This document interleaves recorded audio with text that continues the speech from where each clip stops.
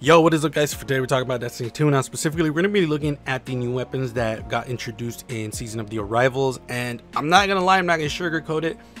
Aside from one weapon, all of these are fire as fuck. I highly suggest you guys go for these weapons. They're really good. With all that being said, let's get right into the first weapon, which is going to be False Promises. This one is going to be one of my favorite weapons in, in the in the season aside from maybe one other or two other. It's so hard to pick a favorite weapon in this season considering they're all great. But let's look at the first row of perks that you can get. So Overflow, Killing Wind, Feeding Frenzy, Subsistence, Dynamic Sway Reduction, Underdog, Threat Detector for the first row. For the second row, it's going to be Swashbuckler, Unrelenting, Rampage, Surrounded, Sympathetic Arsenal, Zen Moment, and Eye of the Storm. So real quick, let me explain some of the new perks that got introduced in this season. Killing Wind is basically final blows grants increased mobility, weapon range, and handling for a short duration. Sympathetic Arsenal is reloading after a final blow also reloads stowed weapons. And the last one, Unrelenting, rapidly defeating targets triggers health regeneration. Guardians and powerful combatants count as more than one. So, that being said, what do I think is the god roll? That's what's so beautiful about this season is the fact that I don't know.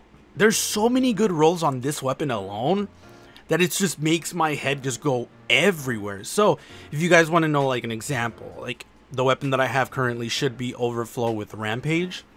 That's my god roll, mostly because I have a I have a build where I never reload a weapon if I have Overflow. And obviously this is this is great. Rampage, I'm doing more damage. You could do Swashbuckler, but for me, I like to pair Subsistence with Swashbuckler, so that's that's the combination I like to do with that one. But you also have Feeding Frenzy, you have Dynamic Sway Reduction, shit, Killing Wind as well is a really good option. So real quick, I'm just gonna throw you a few ideas of like immediately what I see you could do. So you could do overflow with swashbuckler, rampage, surrounded maybe, or unrelenting. Killing wind, you can do killing wind and any of the ones I just said. Or Killing Wind and Sympathetic Arsenal as well would be a pretty good one for PvP. Feeding Frenzy you can do with everything I just said. Subsistence with Swashbuckler, Dynamic Sway Reduction with Zen Moment if you want that really just laser beam auto rifle. But what I would be looking for specifically would be Overflow with Rampage, Subsistence with Swashbuckler, Dynamic Sway Reduction with Zen Moment, and then Killing Wind with Sympathetic Arsenal most likely those would probably be pro probably one of some of the best perks you could choose from. But what what's even crazier is that in the season pass, if I remember correctly, there is one level where it gives you a second perk option for each of the weapons. So essentially, you could be looking at Overflow with Rampage or Unrelenting, which would probably be the God God roll for that specific role, because then let's say you're doing a nightfall and you notice that you're dying a lot more because everything hurts more you can put unrelenting to get that health reboot uh, health boost whenever you need it. You could do subsistence with swashbuckler or sympathetic arsenal. I'm literally just there's so many things you can do with this. It's so fucking wild. All right pve the the role I will go for is obviously overflow with rampage. That's the role I would go for for PvP. Specifically, this would be for my Titan. It would be subsistence with swashbuckler. If I'm looking to be extra, just extra, I would go killing wind with sympathetic arsenal. That would probably be a really nice god roll for me. That's pretty much it for this weapon. Let's go on to the next one. So the next one's gonna be Cold Denial. This is a pulse rifle and it has some nutty rolls as well. Let's look at them. First row, we're to be looking at Feeding Frenzy, Killing Wind, Zen Moment, Pulse Monitor, Grave Robber, and Threat Detector for the first row. For the second row, we're to be looking at Swashbuckler, Unrelenting, Multi-Kill Clip, Sympathetic Arsenal, Eye of the Storm, and Head Seeker. So, immediately, For PvP, PvE, whatever, for my Titan, I would do Grave Robber and Swashbuckler, obviously. Now, if you guys don't know, I like to punch a lot with my Titan. Obviously, they have a lot of punch punchy things. So, Swashbuckler immediately get that 5 stack. But if I kill someone when my ammo's low, Grave Robber immediately gives me some ammo back. That's why I would com combine it. For my Hunter, I went with Feeding Frenzy and Multi-Kill Clip. But in hindsight, I should have gone for Killing Wind and Multi-Kill Clip considering that Feeding Frenzy is not the best in this sandbox only because you have to get it up to five or four stacks for it to be really noticeable. At two or three, it's just actually at three you can see it, but it's still just very weak in my opinion. So for me, I would just rather go with Killing Wind, get that get the, get a kill and proc mobility, range, and handling, bro no contest. Get Killing Wind with multi-kill clip. For PV for PvP, that would probably be my god roll. Like Killing Wind with multi-kill clip would probably be the god roll for me. Multi uh, Feeding Frenzy in PvP just is not it does not hit the same anymore. So yeah, for me, Killing Wind with multi-kill clip. You could do Sympathetic Arsenal as well. I will say that Headseeker has gotten a lot of play now because if I remember correctly, high impact frames for pulse rifles got a buff. So a lot of people have been using Headseeker with it and have been promising up and down that it's great. I personally do not fuck with Headseeker. I think it's a dumb perk, but I'm just letting you know because maybe you want to use it.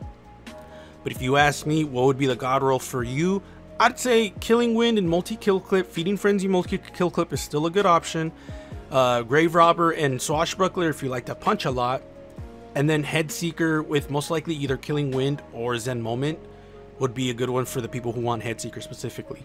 So that's it for the Pulse Rifle. I love this weapon. This is actually one of my favorite weapons, if not the my favorite. It's a lot of fun. And I'm going to be trying to farm for the Killing Wind and multi-kill clip because you, as you guys can see, I have Feeding Frenzy and multi-kill clips. So that made me a little sad. But yeah, on to the next weapon, which is going to be Whispering Slab. It is a bow, a really big chonky bow. This shit's chonk as fuck, man. So, let's look at the first perks. Archer's Tempo, Killing Wind, Quick Draw, Firmly Planted, Hip Fire Grip, and Rangefinder for the first row. For the second row, it's going to be Vorpal Weapon, Demolitionist, Swashbuckler, Opening Shot, Sympathetic Arsenal, and Unrelenting. So, for me, there's a lot of roles people could go for.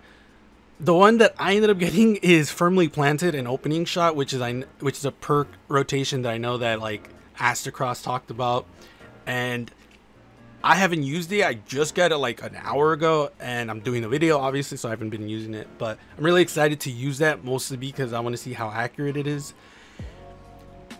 If it was me, if it was up to me, and I was choosing like what I really wanted, like what optimally I would want to use, I would probably end up using like maybe Archer's Tempo with Swashbuckler. Mostly because I want to see if the five stacks of Swashbuckler could instantly kill someone. If it could, that would be gross. It'd probably leave him like one shot. So I highly doubt it'd like just immediately kill someone. But on the off chance that it does, that'd be pretty fucking gross. And then now that I really think about it, if it does one shot, which I highly doubt, I would probably do Killing Wind with opening shot or firmly planted with swashbuckler if I if I'm like really thinking about it. So PvP would probably be firmly planted, quick draw, or killing wind with opening shot, hands down. And for PvE, mm, killing wind with Vorpal weapon, killing wind with unrelenting. Nah, that's not a good roll actually. Killing Wind with Vorpal actually would probably be the one that a lot of people go for. Yeah, I, I like this. I, I, like this weapon a lot, but I just don't know what I would like to use in PvP or PvE. PvE, I really don't like to tend to use uh, bows just because they're kind of weak in my opinion. But they're a lot of fun. And like I said, I'm definitely going to be testing out the firmly planted and opening shot, considering that my masterwork is is accuracy. I think it's called. So yeah, I'm gonna be super excited to use that later on today. So the next one is gonna be Hollow Words. This is the one that I actually do not give a shit about, but I make it no secret that I don't like fusion rifles. I just I don't fuck with them. So if you like fusion rifles, heads up, the this has some pretty good rolls. So first roll we're gonna be looking at is Killing Wind, Feeding Frenzy, Lead from Gold, Slideways, Quick Draw, and Under Pressure for the first row. For the second row, it's gonna be Vorpal Weapon, Unrelenting, Disruption Break, Surrounded, Sympathetic Arsenal, and Backup Plan. So if you asked me, Tony, what would be your god roll for PvE? It would most likely be Lead from Gold and Vorpal Weapon, to be quite honest. I have that roll on pretty much all my shotguns that are PvE, and it's gross. You The amount of ammo you can get from Lead from Gold, not only that, but if you put like heavy like heavy ammo finder on like everything you do you're only picking up heavy which means you can liberally use your your secondary and your heavy it this this could get really gross if you really try to like to work around lead from gold. That would be my PvE god roll. For PvP, I'd probably do maybe slideways. Slide with, with with Vorpal would probably be the PvP god roll, or Killing Wind with the Vorpal weapon. I just don't see much with Unrelenting for PvP. For PvE, I can see the benefit. Uh, Disruption Break, although nice, I don't see don't see a lot of people using it considering that this boosts kinetic damage and you can't have two suit well you can have two specials but i mean that's a specific like that's a specific build that people usually go for so i can see that uh surrounded nah just no so yeah for me pvp would probably be killing wind with vorpal weapon or slideways with uh, Vorpal Weapon, or Quick Draw with Vorpal Weapon. PvE, Lead from Gold and Vorpal Weapon, hands down. You cannot find me on that. So, that's pretty much it for the Fusion Rifle. Like I said, not a big fan of Fusion Rifles. Never have been, probably never will be. Next two weapons are hands down some of the most fun weapons in the game. So the first, the first of the swords we're going to be talking about is Temptation's Hook which is basically Boltcaster from Destiny 1, if you guys don't know. Uh, Boltcaster was an exotic sword, which basically threw it like it basically does what this weapon does. I'm gonna have the animation down in the video because I want to show you guys the animation itself. And obviously, there's a few god rolls you can go for. I think these two swords share the same god roll, which every sword technically shares the same god roll. You guys will know what I'm talking about in a minute. But First roll is going to be Tireless Blade, Relentless Strikes, and Energy Transfer. The next, the last one is going to be Vorpal Weapon, Surrounded, Whirlwind Blade, On Guard, and Flash Counter. So obviously, the God roll was it's probably going to be like Relentless Strike with Whirlwind Blade. Obviously, like for for PVE, that's the God roll, like hands down. I mean, for PvP, you could use this weapon. My my only gripe with it is that the like the actual like casting of the like the thing it takes all of your sword ammo so i wouldn't recommend it unless you see a lot of people grouped up but i mean if you're using a sword in pvp then i mean most people are gonna think you're a scumbag so that would probably be the god roll i love this weapon it's great Unfortunately, the next sword is probably like its big brother. It's so, it's so much better. Like it, me personally, like I said, I love this weapon. The animation, the actual way that it does the lightning thing, it's cool as fuck. Don't get me wrong. It's just that the other one's fucking chonk. So it's gonna be Falling Guillotine. This one is the one that is essentially Dark Drinker, if you guys don't know, obviously from Destiny 1. This one is a meaty fuck face. It's so good, guys. I cannot, cannot, cannot guarantee that this shit's gonna be your favorite weapon. I can guarantee that shit because it's just a lot of fun. So, obviously, the first row is going to be Tireless Wind or Tireless Blade, Relentless Strikes, Energy Transfer for the first row. For the second row is going to be Surrounded, Whirlwind Blade, Counterattack, or yeah, Counterattack and On Guard.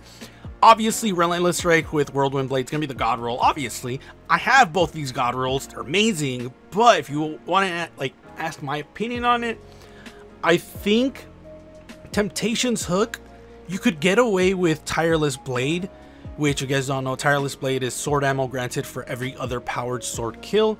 Now, I say that because you could keep, like, after after you do your first initial heavy attack, you'll have the like the projectile hit something and then it stays for a while doing extra damage but then you can just keep throwing it out over and over and over so what you could do is just keep killing people like keep killing like ads or something with the heavy and the heavy doesn't take as much if it's not powered. So essentially you could be getting ammo. I don't know how much the ammo is but if it's a lot of ammo like let's say it gives you two or three ammo per kill or per like every kill then you could essentially have infinite ammo. Again if if it's just like one it's not gonna be that crazy but i could see that being viable for some people for this falling guillotine don't even go for the tireless blade go for for for relentless strike because with Whirlwind Blade, it just makes sense. You're to be doing more damage the more you hit something, but you'll also be getting ammo back. And then once you have the the sword energy up all the way, then you do your your uh, heavy attack, which is basically Dark Drinker, which is awesome. But they actually do a really cool animation for it, which is awesome. Again, a lot of these weapons are great. A lot of these weapons are fucking god tier. And if you guys are gonna like if you guys are gonna attack me like oh but dude what's the or not attack me but just attack the game about the oh what's the point? Sunsetting's becoming a thing la la la. I have almost not if all of not all the god rolls for this weapon. And let me tell you i'm not a youtuber. I am not a fucking streamer i mean i, I am a youtuber but like i don't have the amount of subscribers that like every eh, like other content creators have i have a job and I got all these god rolls. It's literally like this season has been so easy. All you have to do is make sure you get the gun you want. Okay, I want this. Okay, cool. Yeah, I'm gonna do this one. Okay, cool. Boop. And then you get it or you don't. You have two like you have 50-50 of getting the weapon you want and then going for the role that you want. I don't know, man. This season's really good for uh, loot acquisition, and if you're gonna like just bitch about oh sunsetting, it's it's like dude, I get it, I really do, but does that kill the game for me? Not really. It really pisses me off, sure, but at the end of the day, these are some of the dopest weapons we've had in a while. Fucking hell, Temptation's Hook and Falling Guillotine are literally exotics from Destiny 1. How can you fight me on this? What the fuck? So I like I get it, guys. I get that weapon sunsetting sucks. I mean, you guys can if you guys saw my other videos, I'm literally like I don't like this. I get it, but I don't like it. But at the same time, some of these weapons are great, and I'm excited. And we will have a year, so I don't know, man. Let me know in the in the comments below what you guys think. If you guys want to follow me on my social media outlets, links are in the description below. Thank you everyone for the constant support, and I will see you guys later.